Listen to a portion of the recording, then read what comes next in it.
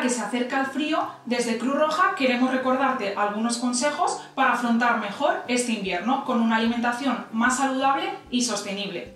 Lo primero, elige materias primas como son las frutas, las verduras y las hortalizas. Además de ser la base de nuestra alimentación, con ellas puedes preparar caldos, cremas y guisos caseros.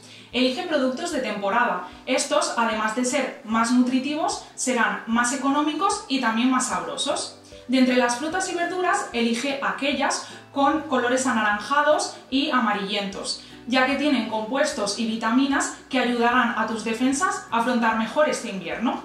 También acuérdate de las legumbres, es una buena fuente de proteínas vegetales que es saludable y sostenible. Puedes incluirla en algunos platos de cuchara.